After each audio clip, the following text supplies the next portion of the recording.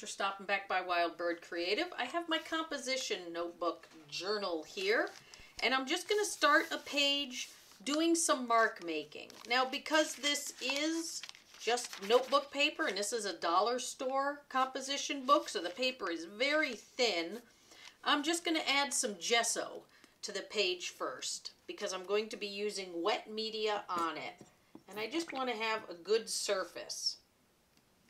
Now there's no fancy way to do this. It's nothing, nothing exciting at all. I'm just spreading it with the broad side of a palette knife.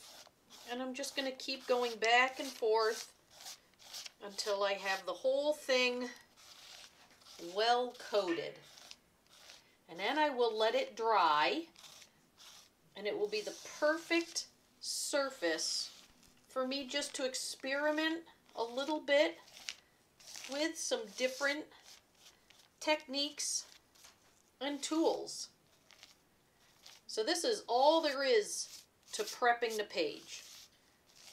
The slowest part is going to be letting it dry. As you can see, it's rippling up, but I really don't care. This is just for experimenting on. So there it is. We'll let it dry and I'll come back and we'll try a variety of things on here and just have some fun.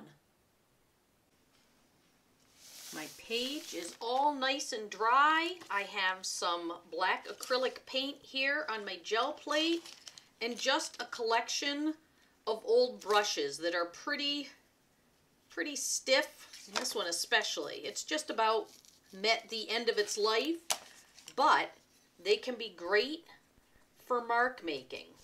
So I'm just going to start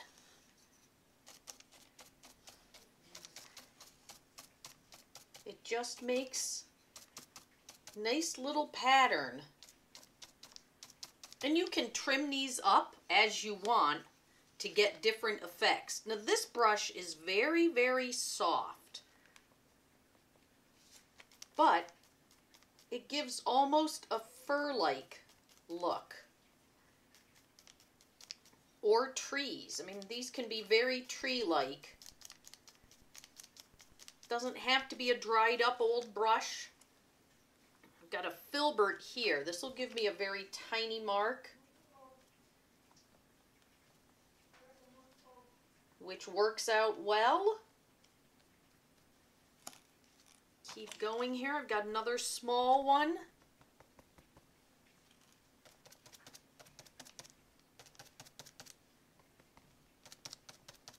It just, it's just fun. I'll have a whole page here of different mark making. This one, this brush may be beat. I'm not getting much.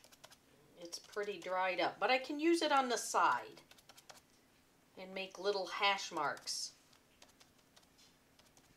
It's just not going to work so well. I don't even think if I load it up it's going to give me much. Nope, it's okay. And if I really, really press, I can get some marks, but that brush may have met its end. This one,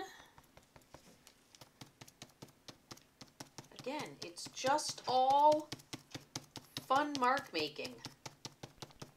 This is a kind of a stippling brush.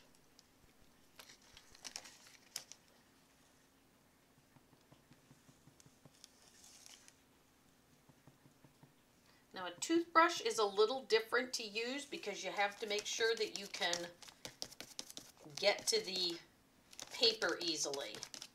But it does allow you to reach way in and get to the center and you can do some great lines.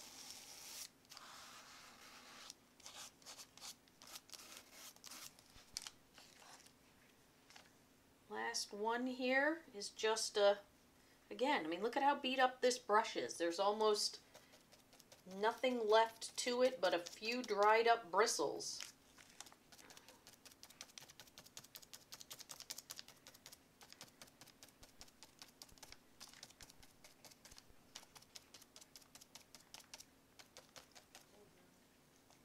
I'm not doing anything fancy.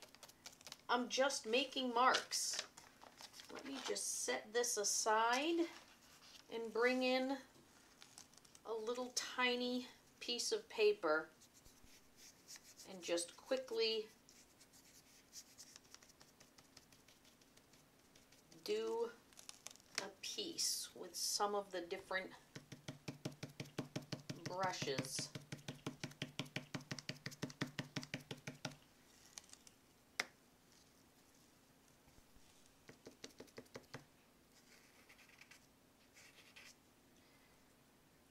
Make a couple Bob Ross trees over here.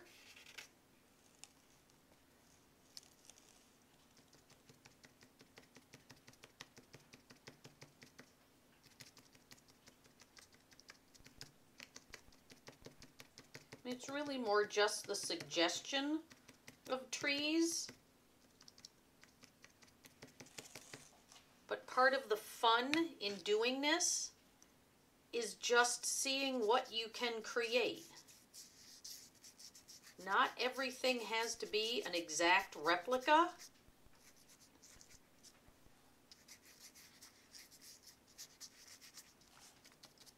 And I'm using the same brush a couple different ways.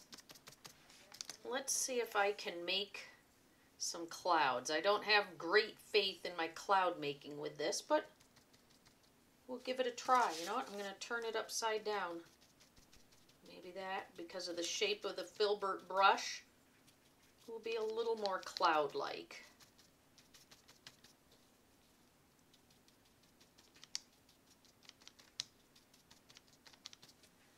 I mean, this is all just done with old brushes. Is it a beautiful piece of art? No. Is it a nice way to practice and work on your mark making skills? Absolutely. The best thing about being creative is just trying stuff. Just seeing what works and what doesn't and learning. I mean, here I've got just a handful of beat up old brushes a gessoed page in my composition book to practice on, and then just a little piece of copy paper, and I've made some art. I hope that you'll give this a try. Don't get rid of your old brushes until you see what other things you can do with them. You also have the other ends you can use. And I can make little tiny things that suggest maybe birds in the sky or snow. You've got two ends of a brush to use. I encourage you to grab your stuff and get creative. Thanks for stopping by, Wild Bird Creative.